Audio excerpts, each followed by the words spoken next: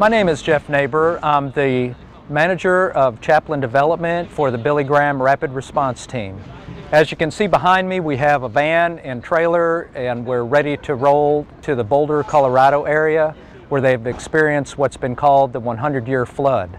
This flood has totally decimated that area, destroyed thousands of homes, uh, misplaced thousands of people.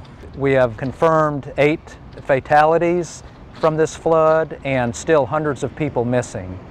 So we ask that you please pray and come along beside us as we minister to the people of the Boulder, Colorado area.